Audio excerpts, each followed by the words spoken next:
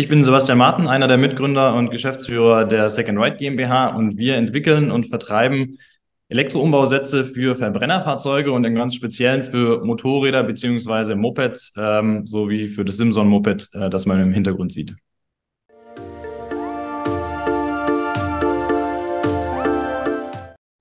Das ist einmal eine rationale und einmal eine emotionale Entscheidung. Rational, weil es das meistproduzierteste Zweirad äh, in Deutschland ist. Da wurden insgesamt sechs Millionen von produziert zu DDR-Zeiten. Und emotional, weil das beides mal unabhängig voneinander das erste Fahrzeug von Carlo und mir war. Äh, damals mit 17 ähm, das erste Fahrzeug von uns, äh, ein Simson-Moped.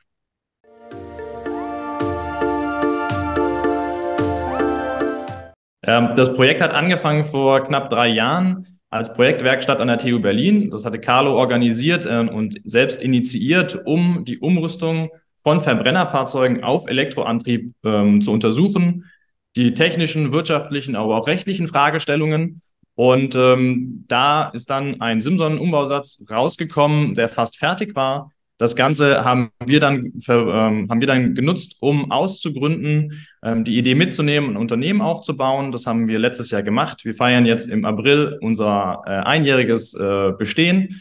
Und äh, genau, wir haben letztes Jahr mit einem Crowdfunding gestartet, um zu gucken, wie kommt das eigentlich an am Markt. Und äh, das ist super angekommen. Haben letztes Jahr die erste Kleinserie ausgeliefert und sind dieses Jahr dran, ähm, die Produktion zu skalieren und von 30 Umbausätzen auf 500 ähm, ja, eine kleine Serienproduktion aufzubauen.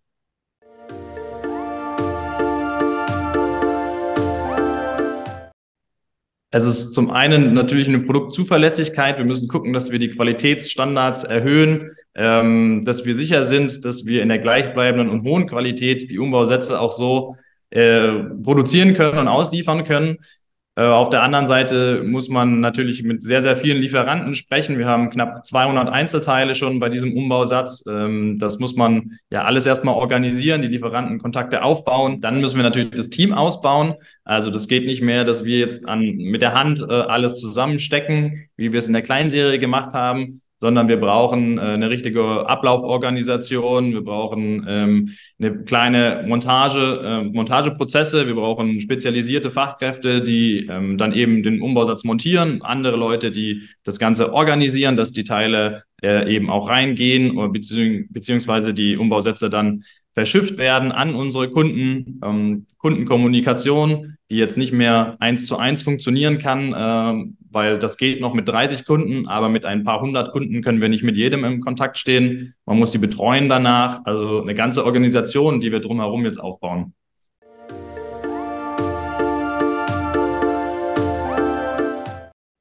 Ja, das geht ganz einfach. Über unseren Online-Shop kann man das Umbaukit bestellen und bekommt dann zwei Pakete nach Hause geschickt.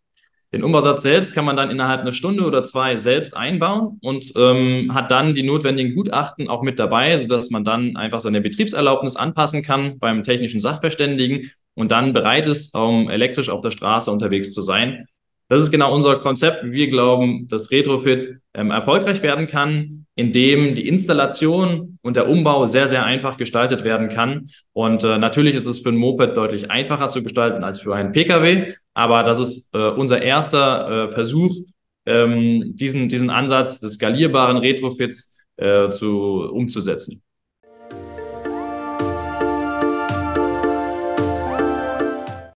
Wir wollen einen Beitrag dazu liefern, dass die Energiewende nachhaltiger passiert über eben die Umrüstung und Weiternutzung von Bestandsfahrzeugen. Und äh, wir glauben, dass wir in den nächsten Jahren ähm, oder unser Ziel ist es, ein paar tausend Umbausätze pro Jahr zu produzieren.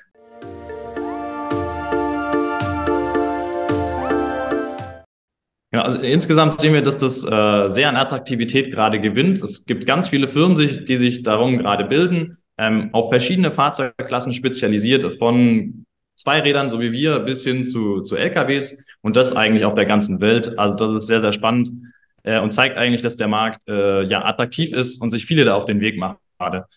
Ähm, international kann man sehen, dass die Märkte da eigentlich schon weiter sind. Ähm, gerade auch, äh, dass staatlich ähm, gefördert wird, dass sich da eine Industrie bildet. So zum Beispiel in Frankreich, da werden solche Umbausätze, die wir anbieten für Zweiräder, pauschal mit 1000 Euro gefördert.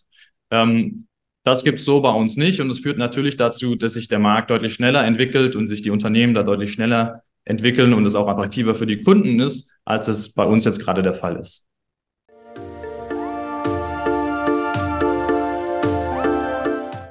wir, wir leben ja noch eine Jahrzehnte auf, auf diesem Planeten und wir sehen, dass der Klimawandel äh, jetzt immer ähm, akuter äh, ähm, auftritt und die Problem, Probleme mit sich bringt und es wird äh, eigentlich eher äh, dramatischer als, als weniger dramatischer. So ist das ja eigentlich ab, absehbar.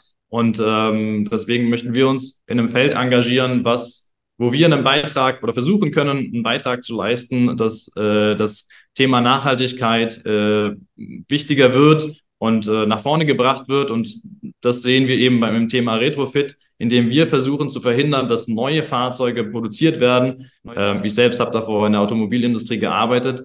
Und ähm, ja, da, da ging mir der Sinn, der Sinn verloren, den ich jetzt hier äh, mit Second Ride auf jeden Fall wiedergefunden habe.